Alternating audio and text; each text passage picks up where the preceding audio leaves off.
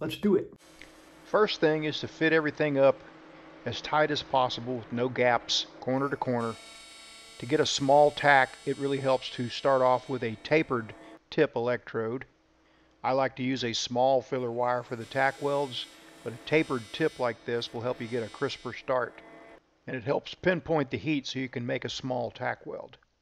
Just a small tack every few inches, and when I've got it all put together, I'll come back and put more tacks if needed.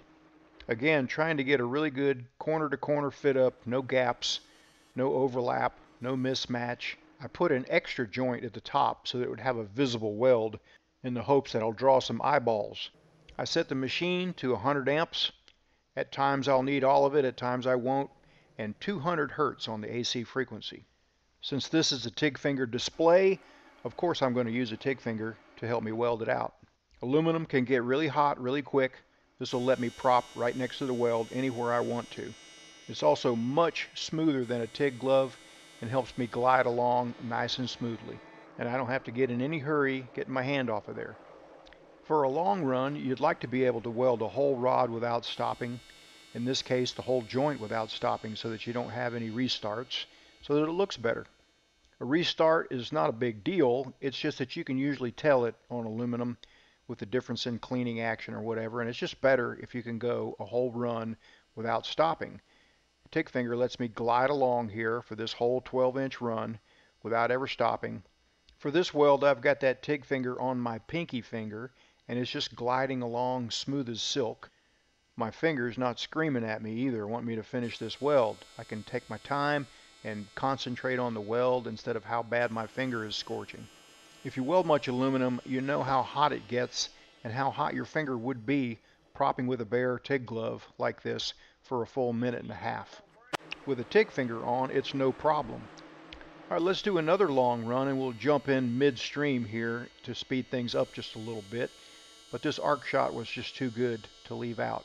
I'm picking up my speed just a little bit here and I think I'm just getting a little bit more comfortable. That's generally the way things go with me. I don't try to go fast right out of the gate if I'm rusty on something. Just go nice and slow and the speed will come as I get more comfortable with it. This is a number 7 clear cup.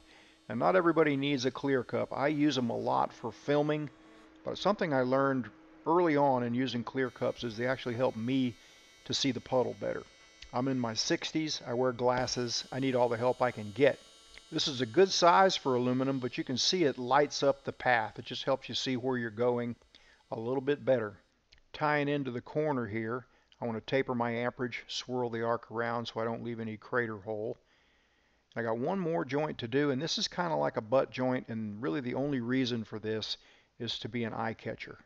When I say that, what I'm thinking is that every welder everywhere, me included, we have to inspect every weld we see everywhere. So I think that this highly visible weld might just get a welder's attention and help him look a little bit closer and check out my TIG fingers. You can buy a ready-made cardboard display, something like this, but I just thought this might be unique enough that a welding supply store might want to put it on their counter or an in display.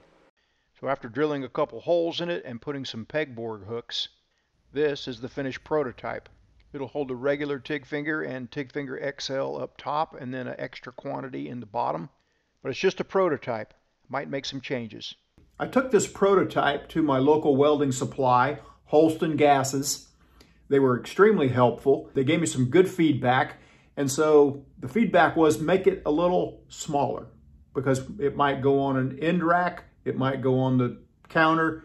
It needs to be just a little smaller. So I'll probably make it out of uh, tread plate this time around. So stay tuned for that. If you're interested in a TIG Finger or TIG Finger XL, you can get them at weldmonger.com. We've also got a lot of TIG kits, TIG gloves, and lots of other quality welding gear. Thanks for watching.